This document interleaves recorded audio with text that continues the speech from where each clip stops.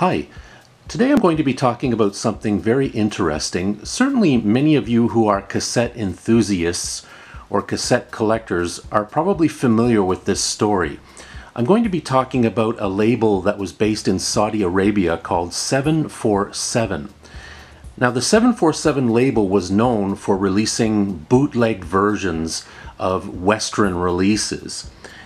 Now the interesting thing about 747 Usually the cassette artwork would be very different from the original artwork. The track listing would sometimes be in a completely different order. And the sound quality varied a lot on these cassettes. Some people claim that some of the cassettes were very good quality sound-wise, and some of them were very poor quality. Now today in this video I'm going to be sharing with you two cassettes from my collection that were put out by the 747 label we have the Leo Sayer cassette Thunder in My Heart and the Carly Simon cassette Torch. Now something else very interesting that 747 used to do, they would often label their cassettes either pop or new wave or something like that. As you can see here on the cover it says 747 pop and also for the Carly Simon one it says 747 pop.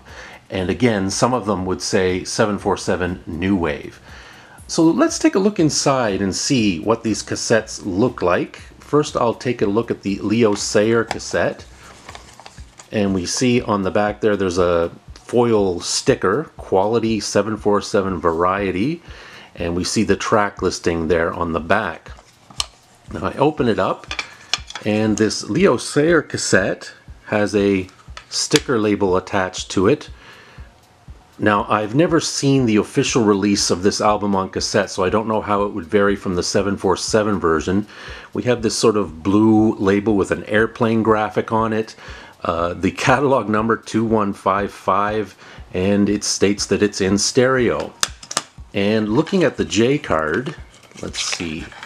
So inside, we have the track listing there. Not sure why it breaks down breaks it down to A, B, C, D. That's kind of odd. And inside there are no graphics, no text, nothing. So pretty plain looking. So that's basically the inside of the Leo Sayer cassette. Now let's take a look at the Carly Simon cassette. And again we see that little foil sticker that says quality 747 variety. And we see this very sort of plain white cassette. We actually have the track listing on the cassette itself. And we see it again on side B. Again, the 747 label, stereo. Now let's take a look inside the Carly Simon J card.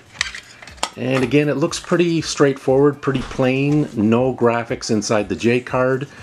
Uh, it does mention all other Carly Simon releases on 747 music tapes, and we see the list there along with the catalog number Boys in the Trees, Spy, and Come Upstairs. So that's Torch by Carly Simon. Now, there are many enthusiasts out there who collect these cassettes and are always looking for them. I've seen them sell on various websites such as eBay or Discogs at uh, very inflated prices uh, I find it usually they sell for at least 10 to 20 dollars US, if not more.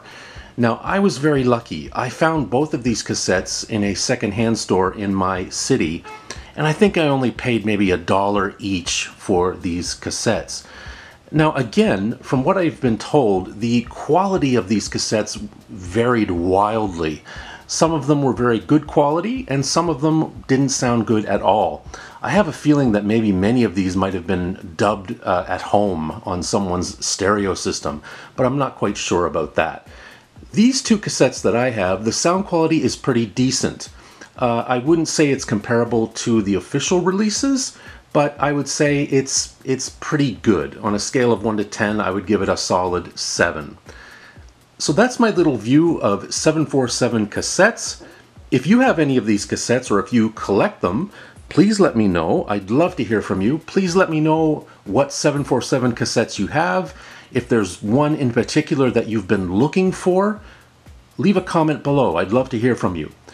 Thank you for watching. Hope you can join us again next time. And please, as always, please subscribe to the channel.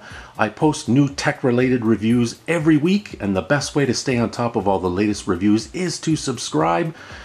Leave a comment, give us a thumbs up. We'd love to hear from you. Thanks again. We'll see you next time. Take care. Bye bye.